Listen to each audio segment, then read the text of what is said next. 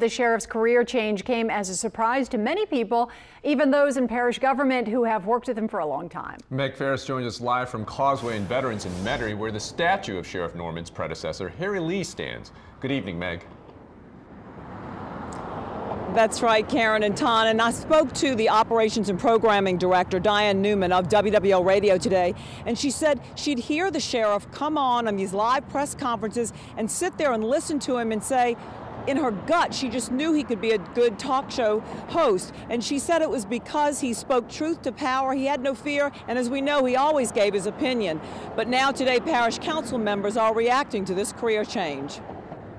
Thank you so much. The Jefferson Parish Council chairman says Sheriff Normand has a great poker face. Their conversation yesterday did not reveal today's news. He has always been uh, one that's been outspoken. Um, he learned that from his predecessor. Um, uh, if it was a controversial issue, Newell was never one to shy away from giving his opinion. Um, in that respect, uh, our loss for the parish is going to be their gain. Councilman Chris Roberts says crime is an important concern for citizens, and the sheriff's honesty of opinion gave the parish stability and a sense of peace and relief. I think that gave people a sense of um, assurance that you know that the deputies that were on the road had the support of their commander, and that we weren't going to tolerate nonsense uh, on the streets. And while Roberts believes the department will continue being proactive against crime, his colleague, Councilwoman Cynthia Lee Sheng, says citizens will get to see Sheriff Normand's broad scope of knowledge in economic development and business. But when he told me what was going on and I heard the excitement in his voice and the new challenge that he has, the opportunity to do,